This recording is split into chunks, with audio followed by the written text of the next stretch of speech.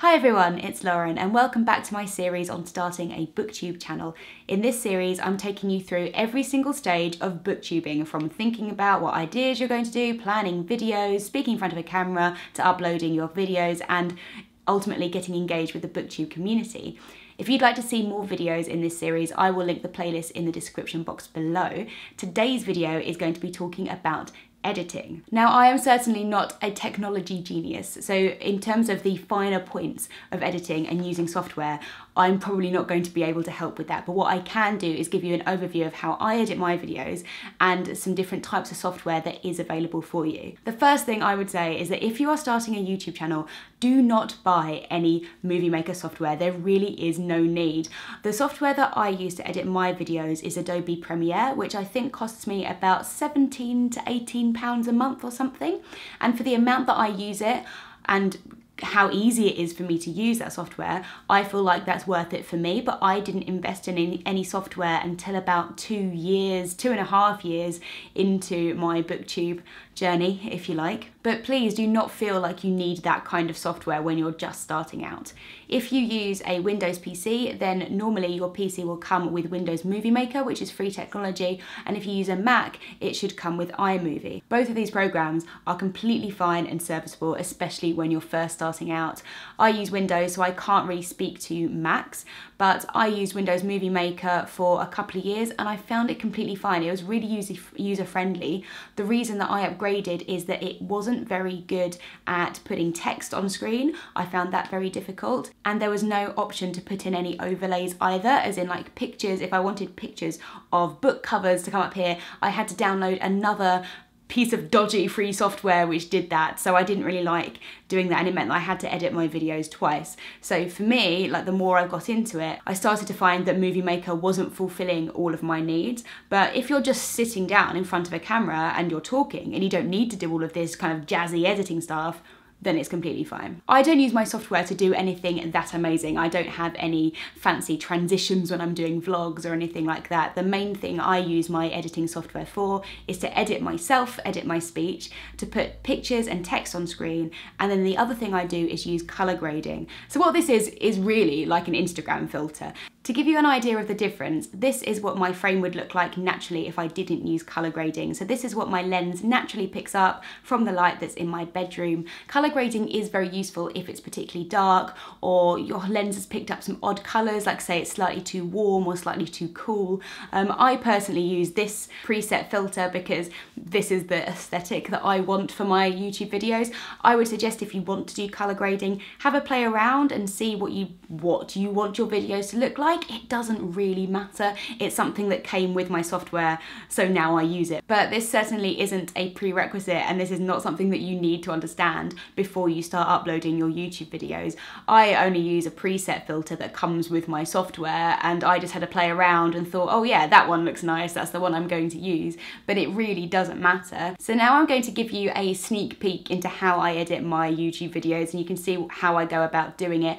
It's very, very simple and most of this this software is quite intuitive. So once you start playing around with it, you can probably find out how to do it. Adobe Premiere itself, when you buy the software, comes with videos which explain exactly how to use it. And I found that really helpful. So I'm not gonna go into all of that detail now because if you want to use this particular program, there are other videos that will tell you how to do that, but I do think it's always nice to see behind the scenes of other people's videos and how they edit, and I used to watch a lot of those kind of videos before I started, so if it helps you, let's go and see how I edit mine. Okay, so this is what I see when I'm editing a video. This is my Adobe dashboard, I guess. Um, the first thing I do when I'm editing a video is drop down the files that I've got from my memory card into this area here. This is from my most recent book haul.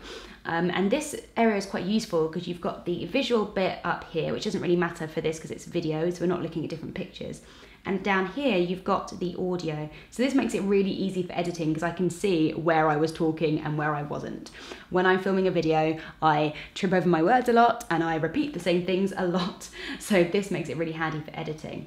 The first thing I do is highlight one of the um, files and then go to the color section up here and do my color grading because it's just easier to do it when the file is in one big section rather than being cut. So all I do is go to this section which gives you a look and you've got all of these different filters here.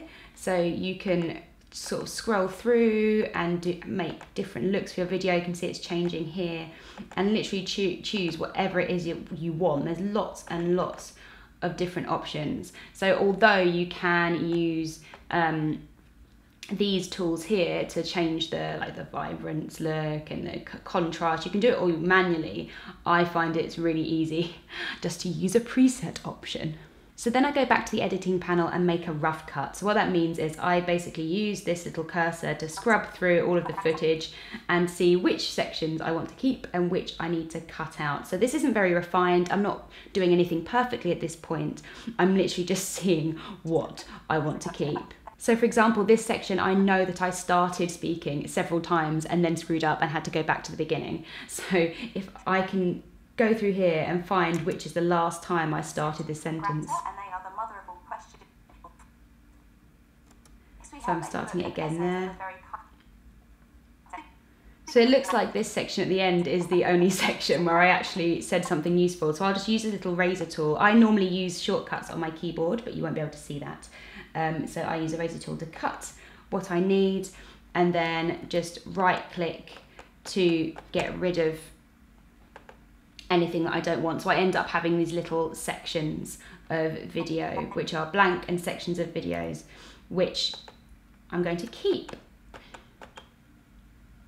Okay, so now I've done that for my whole video and I have these little sections all lined up here. So I have cut most of the pauses and most of the gaps out, but if I just played across these cuts here, while we were there, we went. You can see that this doesn't really flow together very well yet. There's still quite a lot of nonsense in between my edits. So what I can do is double click on one of these sections and then it comes up into this corner here and this is where I can do the really, um, well I just find it easier to do the more minute editing. Using these controls down the bottom you can edit when this section begins and when it ends so I think that the end was quite messy of this one so if I scroll to the end here and just play it through yeah, I just let my sentence run on. So let's find when that sentence naturally kind of ends. When I was in Lincolnshire visiting my boyfriend's mum, and we went. Yeah, so I want this to finish after my boyfriend's mum. That's where I want this sentence to end. So now I can use the arrow keys on my keyboard to really find the exact best moment to cut this clip. And what's really good about Adobe is as I am using these keys, um, I can still hear the video. So if I turn it up, so that you guys can hear it as well. You can hear everything that I'm doing on this video, everything that my microphone's picked up. So every breath, every tut, um, and it makes it really easy to edit. So if I get to scroll back now. so where did this word end? And then I can use these um, mark out buttons to end that section. So you can see as I've edited that up there, it's turned into a hole down here where I've stopped editing. So I can check if that's worked by kind of watching it back here. Lincolnshire visiting my boyfriend's mum. Oh, so I've got the end of the word mum and then I've kind of taken a breath to go on to the next sentence. So this is what's really good about this software is that I can be really finicky about where I end each of my um, each of my edits. So if I edit that there instead, take out that breath. My boyfriend's mum. That's fine. Um, and now I can roll on into the next sentence and that should be okay. So if I then look at this uh, clip. And while we were there, we went to a... Okay, so I start quite well. I think there's just a little bit of gap in air that I need to get rid of. So if I just scroll through, you can hear, you can hear my voice like when I start speaking. So normally what I would do is from where I start speaking, I give myself like a couple of frames of silence just before I start speaking, just to make sure that it doesn't kind of jump in too soon. So now that I've edited both of those things, I can get rid of this gap in between them, and hopefully if I play that back now, that should roll across quite well. I have. I bought when I was in Lincolnshire visiting my boyfriend's mum. And while we were there, we went to a second hand. So that's nearly there. I might edit that a little bit more because I want that to roll on quicker into and we went into the secondhand bookshop because that's part of one sentence so i might get rid of a couple of frames there but essentially this is what i do all the way through my uh, video um, just to make sure that it runs on really quickly. I'm just zooming in here so that I can delete that tiny kind of frame there.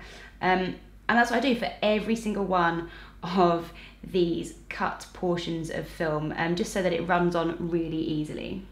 So after editing all of my speech and making sure I'm happy with it, there's only one more thing that I would do, and that is at the end of the video, I normally pose for a thumbnail. There we go.